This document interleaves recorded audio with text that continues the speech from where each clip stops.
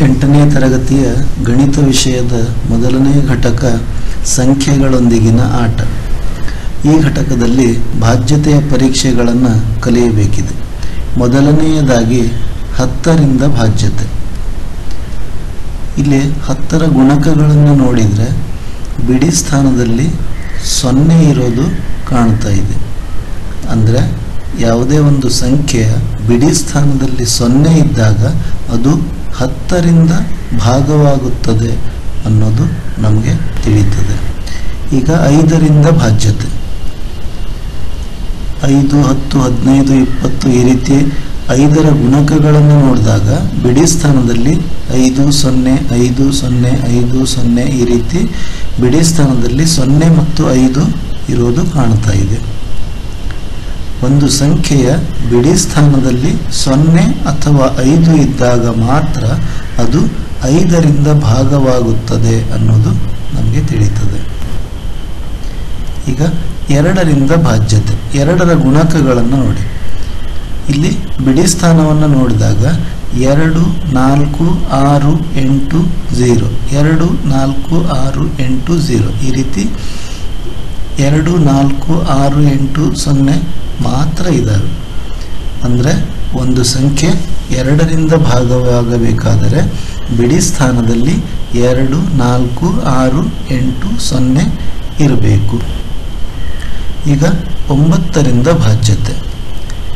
ಒಂಬತ್ತರ ಗುಣಕಗಳನ್ನು ನೋಡಿದಾಗ ಬಿಡಿ ಸ್ಥಾನದಲ್ಲಿ ಒಂಬತ್ತಿದೆ, ಎಂಟಿದೆ, ಏಳಿದೆ, ಆರಿದೆ, ಐದಿದೆ, ನಾಲ್ಕಿದೆ, ಮೂರಿದೆ, ಎರಡಿದೆ ಈ ರೀತಿ ಎಲ್ಲ ಅಂಕೆಗಳು ಇದ್ದಾವೆ ಅಂದರೆ ಕೇವಲ ಬಿಡಿ ಸ್ಥಾನದ ಸಹಾಯದಿಂದ ಒಂಬತ್ತರ ಬಾಧ್ಯತೆಯನ್ನು ಪರೀಕ್ಷಿಸೋದು ಸಾಧ್ಯವಿಲ್ಲ.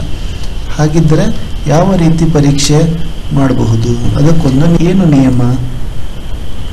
ಒಂದು, ಸಂಖ್ಯೆ ಒಂಬತ್ತರಿಂದ ಭಾಗವಾಗಬೇಕಾದರೆ ಅದರ ಎಲ್ಲ ಅಂಕೆಗಳ ಮೊತ್ತ ಒಂಬತ್ತರಿಂದ ಭಾಗವಾಗಬೇಕು.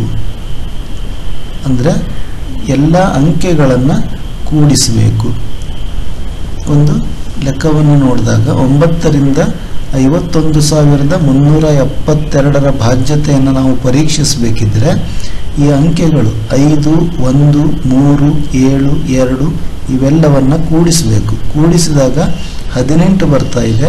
ಹದಿನೆಂಟು ಒಂಬತ್ತರ ಗುಣಕ ಆಗಿರೋದ್ರಿಂದ ಈ ಸಂಖ್ಯೆ ಒಂಬತ್ತರಿಂದ ಭಾಗವಾಗುತ್ತದೆ ಅನ್ನೋದು ತಿಳಿ ಹಾಗೆ ಮೂರರಿಂದ ಬಾಧ್ಯತೆ ಮೂರರ ಬಾಧ್ಯತೆಯ ನಿಯಮ ಸಹ ಒಂಬತ್ತರ ಬಾಧ್ಯತೆಯ ನಿಯಮ ಇದ್ದ ಹಾಗೆಯೇ ಇದೆ.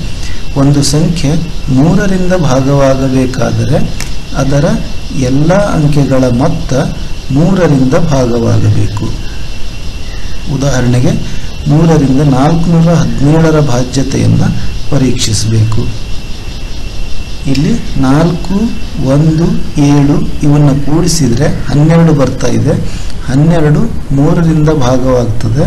ಹಾಗಾಗಿ ನಾಲ್ಕು ನೂರ ಹದಿನೇಳು ಈ ಸಂಖ್ಯೆಯೂ ಸಹ ಮೂರರಿಂದ ಈಗ ನಿಮಗಾಗಿ ಲೆಕ್ಕಗಳಿದ್ದಾವೆ ಒಂಬತ್ತರಿಂದ ಬಾಧ್ಯತೆಯನ್ನು ಪರೀಕ್ಷಿಸುವ ಎರಡು ಲೆಕ್ಕಗಳು, ಮೂರರ ಬಾಧ್ಯತೆಯನ್ನು ಪರೀಕ್ಷಿಸಲಿಕ್ಕೆ ಎರಡು ಲೆಕ್ಕಗಳು.